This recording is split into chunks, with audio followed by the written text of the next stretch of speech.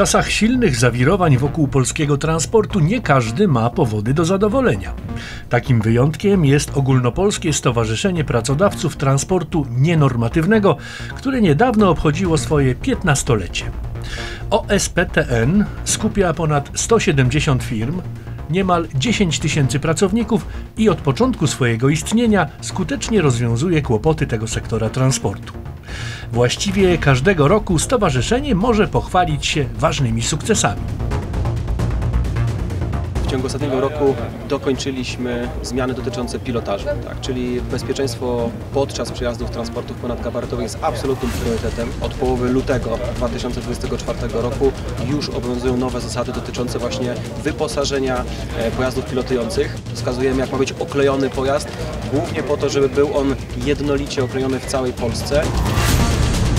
Dzięki temu każdy na drodze będzie mógł szybko zauważyć, że zbliża się transport ponadnormatywny i odpowiednio na to zareagować.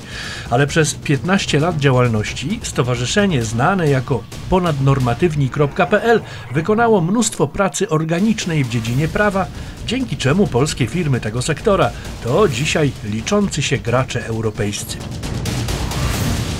Stowarzyszenie powstało 15 lat temu właśnie po to, żeby zmienić, ulepszyć zasady e, uzyskiwania zezwoleń, co stało się w 2012 roku. E, w międzyczasie reprezentujemy branżę transportu ponadgabarytowego zarówno na rynku polskim, jak i międzynarodowym, bo jesteśmy członkiem Europejskiego Stowarzyszenia ESTA i tam bardzo prężnie działamy. Efektem mrówczej pracy stowarzyszenia są m.in. zmiany w przepisach ruchu drogowego i edukacji kierowców pytania dotyczące transportu ponadgabarytowego dla kandydatów na prawo jazdy, tak? czyli y, wpływamy na to, żeby młode pokolenie, to które dopiero wchodzi w y, etap kierowania samochodami, kierowania pojazdami, żeby już na etapie uczenia się do egzaminu, żeby mieli świadomość, że transport ponadgabarytowy istnieje, a polecenia wydawane przez pilota, pomimo że jest osobą cywilną, są tak samo ważne jak policjanta.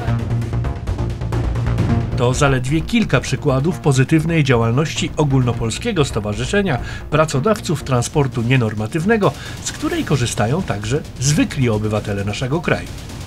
15-lecie OSPTN było także okazją do nakreślenia przyszłości branży, o czym mówiono w trakcie licznych prelekcji panelowych. W następnej relacji przyjrzymy się trzeciej edycji konkursu Giganci Transportu, organizowanej przez to stowarzyszenie.